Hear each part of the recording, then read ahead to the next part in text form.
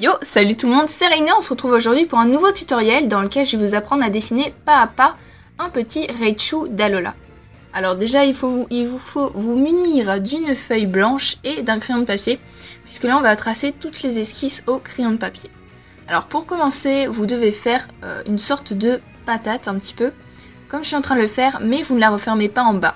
Donc cette patate, ce sera la tête du Luxray. Donc vous voyez, en bas, vous laissez un espace libre.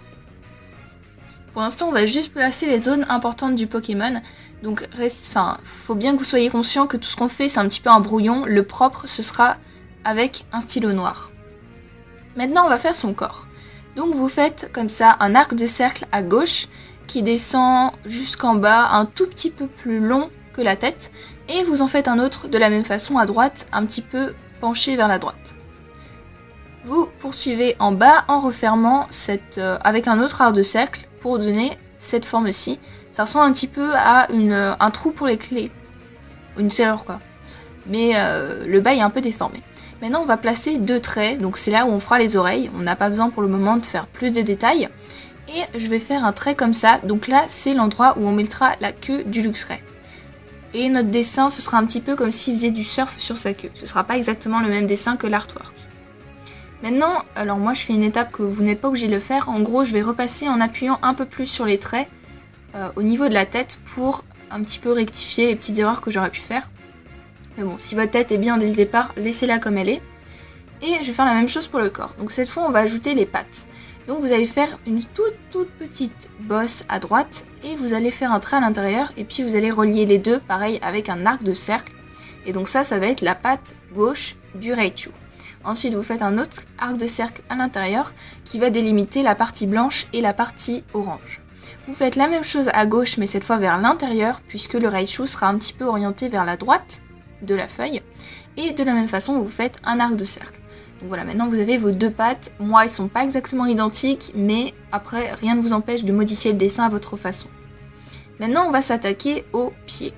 Donc vous allez faire comme ça un arc de cercle pareil, et vous allez le terminer euh, avec une sorte de pic, mais pas trop pointu, un petit peu arrondi, comme ceci. Un petit peu comme si vous faisiez un cornet de glace tout aplati. Et vous faites la même chose de l'autre côté. Moi, je l'ai peut-être fait un petit peu trop grand, mon pied. Donc voilà, vous faites un arc de cercle, vous descendez un petit peu et vous faites votre cornet de glace juste en bas. Donc oui, moi mon pied droit est un petit peu trop grand, vous faites le plus petit mais c'est important qu'il soit pas exactement au même niveau, comme ça ça donne un effet de, euh, de 3D, de décalage. Le Pokémon, je vous l'ai dit, est un petit peu tourné vers la droite. Ensuite, vous faites les arcs de cercle pour marquer les zones blanches et vous faites deux petits traits qui correspondent aux délimitations entre les coussinets du Raichu. Voilà, voilà, j'espère que vous arrivez à suivre jusque là. Alors maintenant, je crois que moi je vais faire, voilà, je vais faire le bord du corps. Donc là, je vais repasser de telle sorte à ce que ça soit un petit peu moins euh, arrondi, ça sera un petit peu plus droit, mais vous n'êtes pas obligé de le faire, ça dépend si vous préférez un Raichu qui soit un petit peu plus rond. Chacun, chacun, fait ce qu'il veut. Et maintenant on va faire la liaison entre les deux pattes, donc vous faites une sorte d'arc de cercle un petit peu comme celui-ci. Euh, voilà, pour relier tout simplement les deux jambes et créer les deux jambes. Maintenant on va s'attaquer aux oreilles. Alors pour les oreilles, vous allez vous baser sur les traits que vous avez fait en vous disant que les traits que vous avez fait c'est le centre de l'oreille.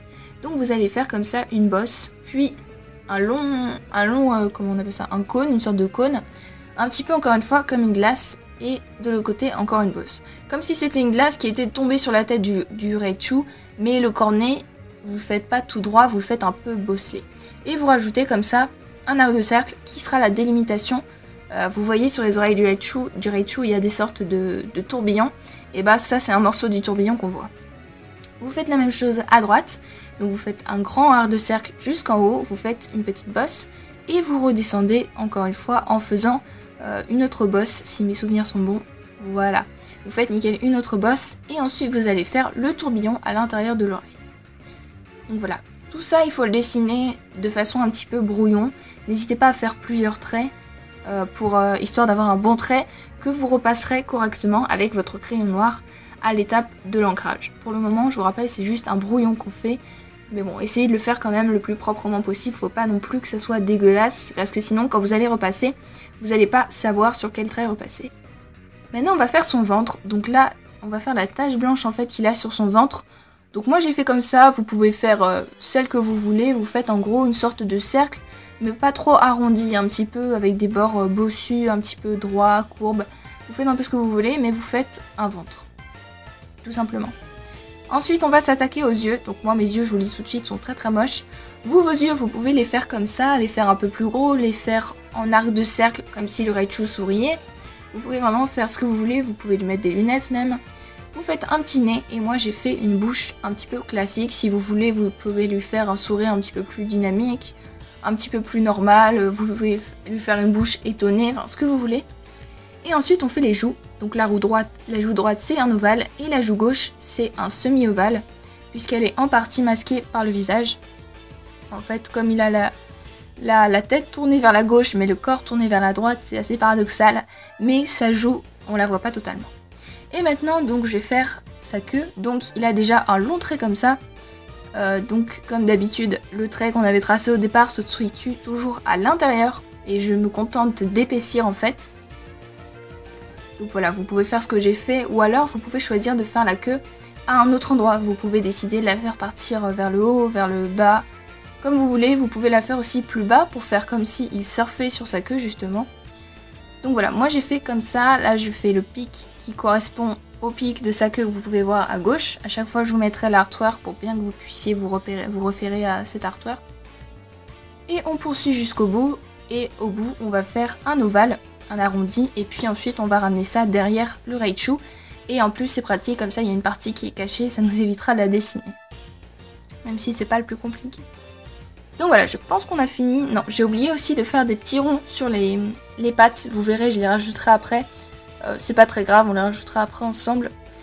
Et vous faites deux traits pareils pour délimiter les coussinets dans chaque patte du Raichu. Comme ceci euh, ensuite, bon, les yeux, moi j'ai décidé de faire des... de les accentuer un petit peu, vous pouvez les modifier si vous le souhaitez. Et euh, donc vous voyez, vous pouvez faire aussi des petits ronds à l'intérieur qui seront blancs et le reste sera noir ou bleu, comme vous voulez. Et comme ça, ça donne un petit peu plus de vie au dessin. Donc voilà, on arrive maintenant à l'étape de l'ancrage. Je vous laisse vous munir d'un crayon noir, si possible pas à bille, c'est mieux s'il est un petit peu à encre.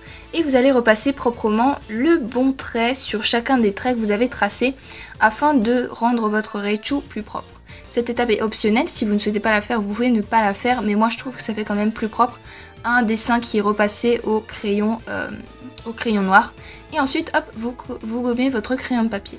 Donc j'ai rajouté deux traits sur la queue, vous voyez à droite, et ensuite je colorie mon Raichu. Vous pouvez colorier au feutre, au crayon de couleur, ça n'a pas vraiment d'importance. Donc moi, comme je vous l'ai dit, mes yeux sont assez étranges, mais bon. Voilà, et les petits traits dont je vous parlais en bas des jambes pour faire les sortes d'empreintes. J'ai rajouté également des ombres, ça vous pouvez le faire comme vous pouvez ne pas le faire, comme vous souhaitez. En tout cas, j'espère que ce tutoriel vous a aidé. Si c'est le cas, n'oubliez pas de laisser un gros pouce bleu et abonnez-vous pour voir la suite. Et moi, je vous dis à très bientôt pour de prochaines vidéos. Bye tout le monde